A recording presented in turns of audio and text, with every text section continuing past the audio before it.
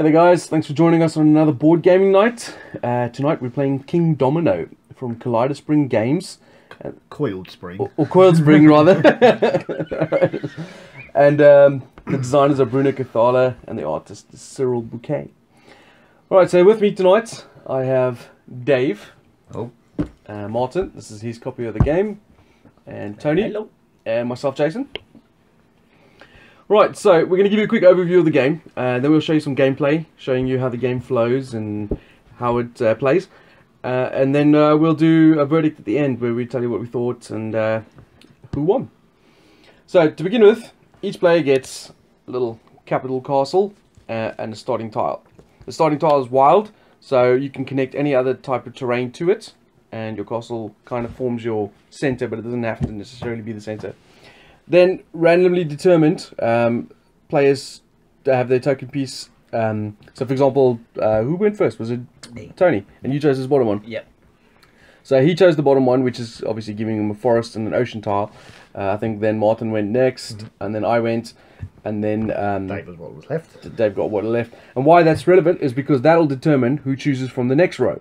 And these are all taken out of the box, and they have initiative numbers at the back, so that'll seed how they determine out, and you'll see that in the gameplay turn. So, for example, when the game starts, I will take this tile, and I'll connect it to my kingdom, and I can connect it up, as you can imagine, like so, or so, and I can change it around exactly. And it forms a, is it a 4x4 grid? Five five by five grid, so you can't go outside of that. And you get bonus points if your kingdom is in the middle. And what other points do you get? You get um, ten bonus points if you've got um, the castle in the middle, and you get five bonus points if you've completed the entire five by five grid. And obviously, you get points based on The various the, things. the crowns times by. So the crowns are the multipliers. So for example, in this situation, if I had like that, I would Obviously, get he can't do that. It would have to be Yeah. that. so I've got three forests divided times by the one crown, which is three points. And obviously, the more crowns you get, the more multipliers you can get. I'm not going to mess all this up now, but so in this example, like I was saying, I choose this one, and then I can place my meeple down on any one of these. So, for example, I could go there, which means I would be third in the next choice, and so on and so on. yeah, the tiles tend to get as the numbers get higher, they tend to get better, more crowns and things like that. And it's basically similar to domino rules. I mean, you have double tiles, multiple tiles like this. You connect them up, and they, the the more tiles of the same type you connect together, the more you can potentially get that multiplier. And that's pretty much it. That's a really simple little quick game. Uh, it shouldn't last that much longer. So we're going to get started. We'll play maybe a round or two. Do you know how many rounds it goes? About five? Uh, there's 48 to so 12, I guess. Okay. Or 11 if you don't count this one. So we'll do a couple of rounds and then we'll come back to you and show you how the game flows. Alright, let's go. 10 points already, Jason. Well, yeah. Um, so welcome back to the gameplay turn. Um, we've had it three, maybe four rounds. Um, so you can see there's my kingdom. Uh, this is Sherwood Forest. This is Tony's. It's got kind of a Viking thing going on here. I don't know what's going on. That's T- Martin's.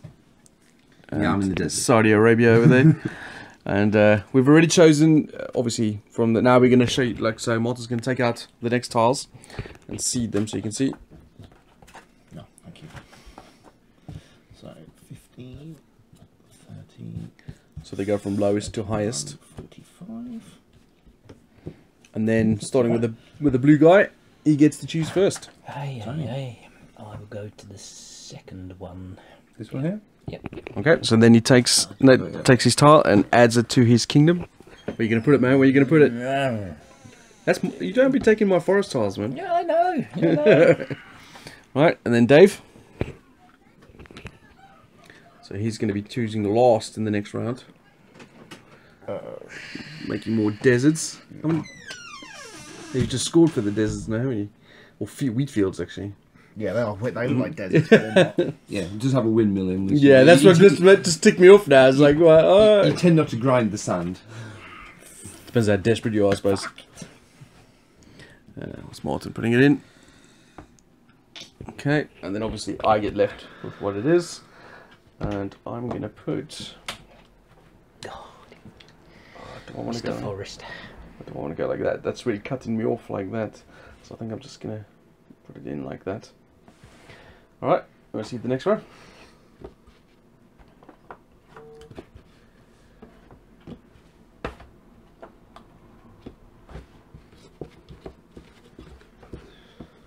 Ooh, that's interesting. oh dear god, what am I going to do here? So...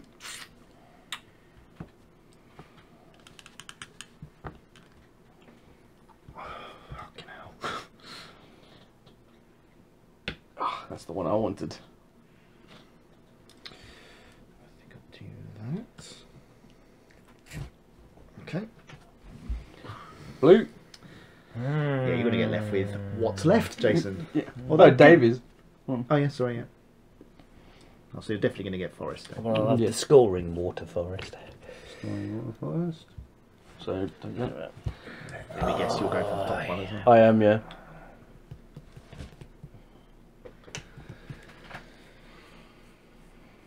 That means your water tiles are going to be times two now, Tone. Yeah, I don't think I've got that many of them though. Connected. Obviously, I'm taking that one. I can either take the caves down at the bottom there, or this one. I'm just going to go there. And then I'm going to add this in like that. So you can see. That water tile is worth one point on its own, isn't it? Because it's one Yep. water down. Yeah, you actually stand to make a fairly good point out of this, Dave.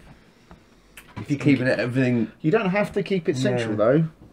You get ten points if you've got your castle in the centre.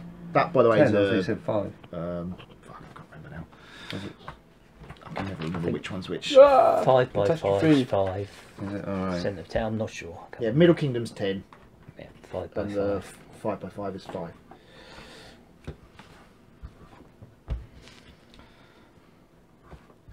But get those together and big point.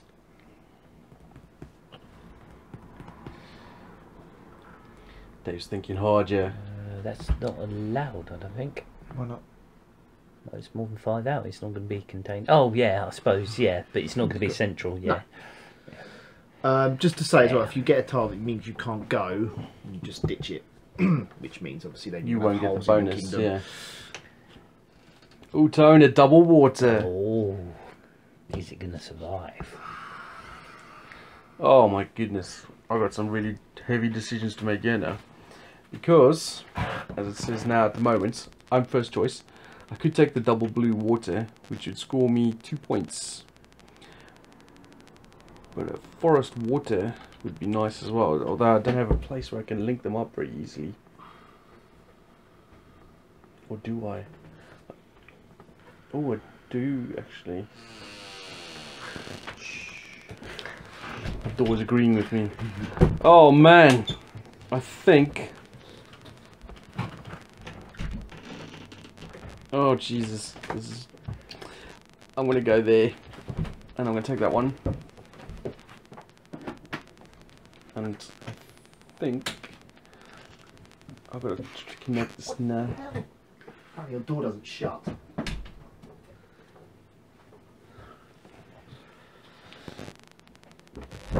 Oh, I don't know how to connect this that that'll match up with that one. Could put it like that. I thought you were going to go for the double water. I Put- was- put, the forest there, double water up here, and then pray. Yeah. pray for another double water. I was t- kind of tempted, but I wanted, Go on, I death or glory. wanted the extra forest. No, that's dumb. I don't know. Yeah, death or glory. Take the double water instead.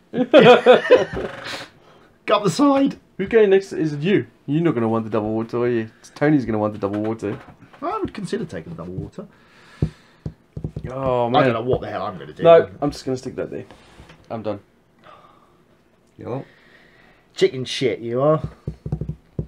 I'm going to. I think that's going to go there. So.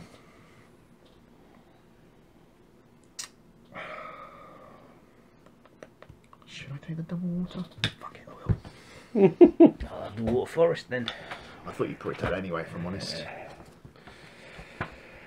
A water forest and a water forest. Oh man.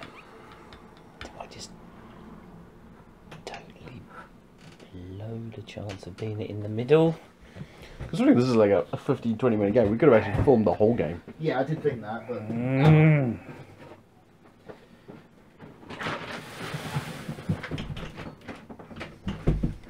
Martin hard at work over there with the door.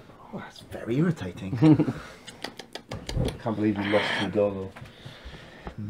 well, silly me, I thought it just shut. Apparently not. It's because they've got the Christmas Ah, decorations okay, still let's hanging on not it. go for the same. Well, I know, it's June. Right, Dave, you got the last one Or July even. again. oh, it is now, yeah. Yeah. Yeah. And there you go. That's another round done. Oh, Jesus. So I, I think Dave might win this. yeah, He's- He seems to be just getting stuck. With- stuck with yeah, really with- high scoring points. right, we're gonna finish off the game and we'll come back to you in a sec. Alrighty, so we finished off the game and uh, we've worked out who has won. So in last place, and I'll let you guys guess. Tony's playing, so he's last. Hey. How many points did you get, Tony? 32. 32. And let's have a look at Tony's kingdom. For the forest, 20 for the C. Yeah, it's seed game already. 2 and 2. Uh, though you lost the bonus points because that's not in the center of his kingdom, and he hasn't got um, full five by five grid. Uh, so he's lost. I'm third with 48, and that's my kingdom right there. That's I- a shame if you'd have. yeah, I got stuck with a freaking desert tile, uh, which I couldn't obviously slot in anywhere. So that cost me the um, Game. Yeah, Well, it did, because if you'd have got that, you'd have had the bonus five there, plus assuming that would have given you more points there. well, yeah. Um, but yeah, so my, my kingdom's pretty good. So I got good forestry, good ocean. I got the Loch Ness monster in the ocean, but I got uh, 48 points, which is not bad. Uh, then second place is Dave uh, with 49 points, beaten by one point. And point out what one?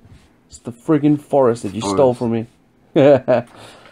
you also for, didn't manage to um, fit, fill up the full grid, and he's obviously his kingdom's not in the center of his kingdom. But so he has some extremely valuable tiles. yeah, I mean, it's basically Dave's basically a dwarf. If he could have linked these, he would have smashed us. Yeah. I Yeah. got 49 points with no bonuses. That's really good. And then of course Martin is the winner. Although Martin, uh, And I've- I've just got fields, yeah, crops. uh, you got the full complement of bonuses. Big desert. Yeah.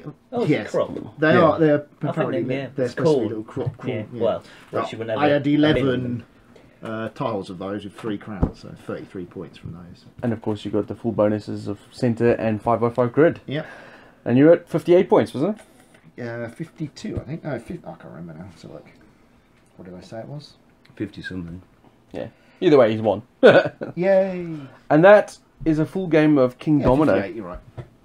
So let's have a quick chat with what we got. Martin's the winner, and he's played this a few times. Let's have. a quick chat. What do you think? I think it's a great filler. It takes about 15 minutes, maybe. Um, there's plenty to think about in there. Um, what's not to like, really? I think it's excellent. Um, I, I think it's a complete game. I don't think you need to add anything to it.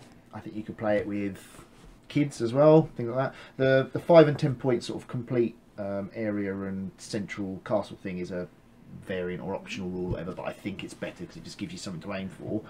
Um, but yeah, I mean that's literally the only complexity in there. I think it's great and it's cheap. You know, couldn't really be happier with it. The dominoes are nice, uh, you know, nice and thick card.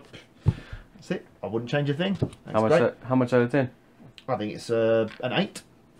Cool. Well done. Uh, you first play for you, isn't it? Yeah, first play. I saw you playing it briefly when I popped on the other night, but yeah, Martin's pretty much summed it up. It is simple. Uh, the bonus points do make a big, big difference. I mean, I got second place with no bonuses and was beaten marginally by Martin. Who got better, man. full bonus. yeah, you didn't get any bonuses either. Oddly enough, for me in this game, I was going last most times, and you were just leaving all of these. I guess the mines because you Yeah, have lots mines, of yeah. things, and that's where all my points came from. Like you say, if I'd have had them connected, I'd have smashed Yeah, it's you. interesting. We, we didn't play so much in this particular particular game of uh, well, he's got that, he's got this, so I'm gonna deny him that. It was just like I want this, so I'm Yeah. gonna go there. Well, that's the thing. I mean, you can do either one, can't you? Yeah. You can. This benefits me more, but that one benefits him more, so I'm going to deny him that. Hmm. And I think Tony may have done that once, Once which the end which basically screwed you over, and Yeah. also Thanks a lot, Tony. You cost me the win. Yeah. you did actually. Because if you'd have got something in there, But it was an option where there was n- there were no Good one- choices for you. There were no good choices for me, so it was. um, Yeah. I mean, you you have forcing me to have all these was what dictated my build. Hmm? Because I wasn't collecting them at first. I had them, and I thought, well, you know, the forests they were there if I thought of connecting the grid, but it was the, the fields and the mud And I think I think the way that kind of tile drafting sort of thing works is really clever as well. I was gonna say, I think it's really clever because I don't know the- how they figured it out that it comes out in that sort of order and it makes it balanced. Is really yeah, clever. yeah. Well, it's as I say, the the bigger the number, The generally the, the be- the better the tiles are. But obviously, then you're more likely to go last. It's only when you get a lot of high tiles come out that you might have a first pick and still have a great tile. But I mean, the the sort of first half a dozen tiles seem to be like doubles with nothing on them and things like that. You know, basically crap. Which I kind of picked up most of. Yeah, But I mean we've also- all got some. Also shows. I mean, that Dave Dave was saying that he his first time he played it and he didn't have to choose a lot and still did well. So Hmm. pretty balanced game. Well, and I like the fact that he hasn't completed his five by five, and he hasn't got the central castle, and he's still got a, a competitive score. He's within nine points of the leader, sort of thing, which is in second place, which is cool. I, I think that's good. So it shows that the bonus points are good, but they're not essential. You know, if you miss them, it doesn't mean you're not going to win, which is nice. How much would you give it out of ten, Dave? Probably a seven. Seven. Yeah, Yeah, it's cool. a solid seven. Um, I don't know if it's got a lot of replayability. Like you said, it's very much of a filler game, but I don't know how many times I could play it before.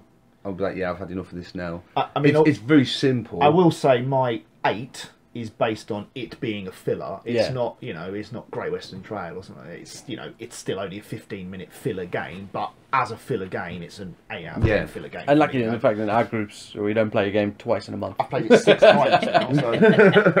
How about you, Tone? Well, there's hardly anything more to say. It is a very good sort of little aperitif to start your gaming night. I, I, Moose yeah, boosh. Yes, yes. Um, nice, easy. Not much thinking there. You can't have a grand strategy. You have to respond to the, the tiles as they came out and the ones that other people leave you. And I pretty much for an aperitif filler game, whatever you like to call it, I'd go for an eight on that basis of what it is. Do you guys do you guys think they'll do an expansion for this? Maybe, but as I say, I don't think it's needed. No, it's not. But it'll be interesting to see how, what they do for that. yeah. Well, the, I mean, the, they'd almost have to because the, the unless they added additional rounds, although I don't know how they would do that, they'd probably have to do six by six grid, perhaps. alternate tiles, sort of things like there's a, a different one, a different two, that sort of thing. Oh. Um, in a two-player game, by the way, you have two guys and you do a seven by seven grid. So um, you do play with less players. You do play with a bigger thing, which is interesting, I think. Um, but yeah, I don't, I, I don't know if they will. I No, I, don't. I don't know. I don't think it needs. I don't. An I, I think it's one of those games that they they would have made their money off from the fact that this sold really well as a small little filler game, and from my perspective as well, I think it's quite cool. Um, I think it gives you enough options when you're playing for the 15, 20 minute game that it is. It's super light, but super fun. And uh, it has some interesting little quirks. Like uh, I've got the Loch Ness here. Martin had a dragon on his, I think. Someone uh, uh, dragon. and there's different options you can choose. I mean, depending on what the players leave you with or what you're trying to build. Um, going for the bonus objectives is interesting. So it's a really fun little game. Good, good components. Nice little cheap box. Um, not a very expensive game. We're looking at about 15 to 20 bucks or pounds.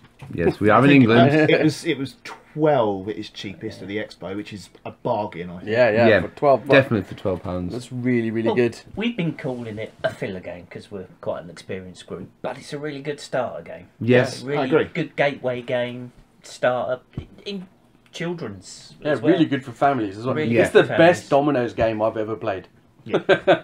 Definitely, yeah. So for me, I'd give it for that sort of category game. I give it seven point five. I really like it. I'd play this anytime someone asked, and uh, I would even buy my own copy because it's that good. It's really good.